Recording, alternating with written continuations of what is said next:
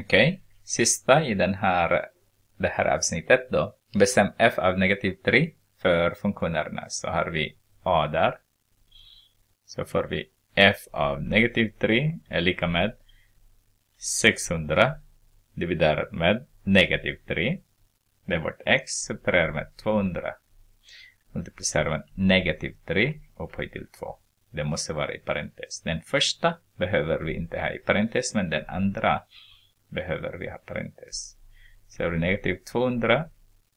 Subtraherar med 200. Multiplicerar med 8. Nej, vadå 8? Jättedåligt. 9 menade jag. Så har vi negativ 200 subtraherar med 1800 så har vi negativ 2000. Okej, okay. B. Så har vi f av negativ 3.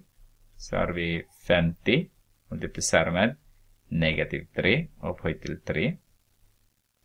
Och därmed 100 multiplicerar med negativ 3 upphöjt till 2.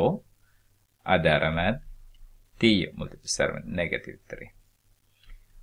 Jag kan kanske sätta in punkter emellan också. Så, så har vi 50 multiplicerat med.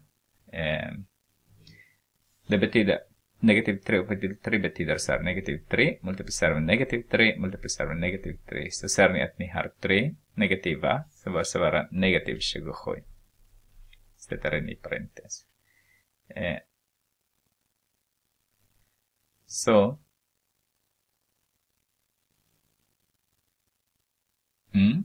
Och sen, vi har ju plus 100 multiplicerar med 9. Eh, sen sätter vi med 30 direkt där. Därför att vi får negativt där. Okej. Okay. Så har vi 270 dividerat med 2. Eh.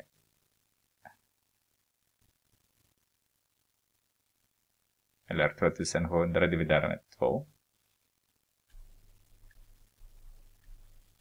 Dividerat med 2. Därför att om jag ska multiplicera med 2 då, då får jag 100 där. Mm. Plus 900 minus 30 så får jag eh, 1350.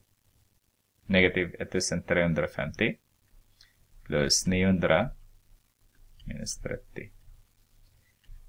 Så har vi negativ 1380 plus 900. Vad blir det då?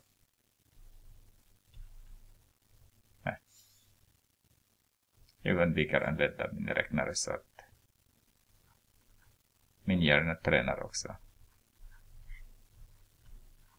13, vad blir det? 4. Okej. Okay. 480. Negativ 480.